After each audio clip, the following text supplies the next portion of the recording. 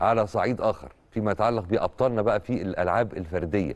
عايزين نقول لكم إن عبد اللطيف عبد اللطيف منيع لاعب المنتخب الوطني للمصارعه توج بالميدالية الذهبية لدورة الألعاب آه، القتالية 2023 المقامة في المملكة العربية السعودية خلال منافسات المصارعة الرومانية بعد طبعا ما فاز على بطل العراق عدم تكافؤ بنتيجة 9-0 كمان تمكن الثنائي مصطفى جبر ومصطفى حسين بالفوز بميداليتين ذهبيتين لمصر في دورة الألعاب القتالية.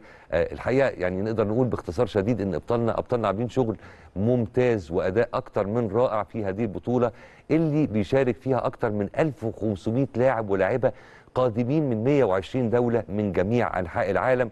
وهي النسخة الأكبر لعدد المشاركين في تاريخ دورات الألعاب القتالية على الإطلاق. أكيد كل الإنجازات دي بتفرحنا وتسعدنا وبتطمنا على اللي جاي.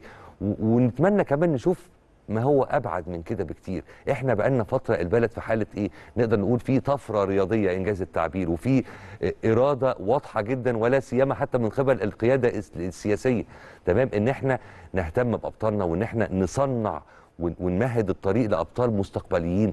لو في عقبات نذللها يعني حتى من ضمن ال ال ال الكلام اللي اتقال وحضراتكم أكيد تابعتم الحوار اللي دار ده بين سيادة الرئيس وبين السيد وزير الشباب والرياضة كان الكلام على المكشوف. إيه اللي ناقصكم؟ محتاجين مدد محتاجين دعم. إيه اللي ناقصنا عشان ولادنا ما يروحوش برانا؟